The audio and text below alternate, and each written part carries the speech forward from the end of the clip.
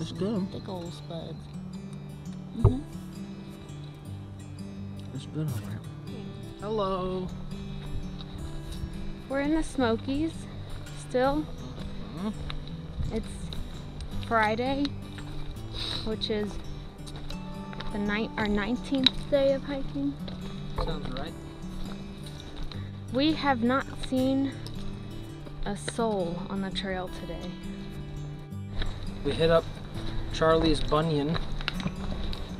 The name of a, a mini mini trail that branches off of the AT. That was cool. Yeah, just a quick point one, I think. Yeah, Really great views. rocky. This part of the park past Kling, Clingmans Dome is really something. Yeah, can't recommend it enough. We've gotten Stay north of the dome.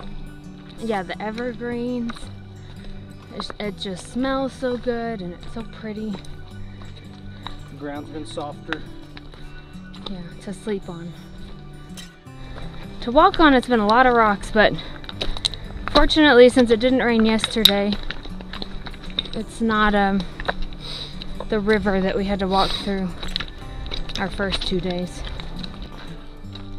But the mood's a little somber.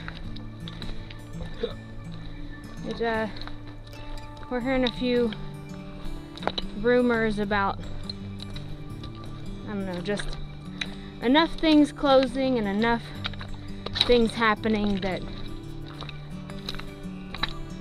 everyone's trying to figure out how much longer they can be on the trail. So, just walking, trying to soak it in as long as we can.